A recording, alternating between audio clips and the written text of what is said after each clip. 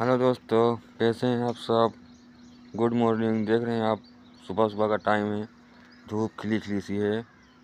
अपने फार्म पे बैठे हुए हैं। बस हमारे फार्म का काम दो दिन का और बचा है।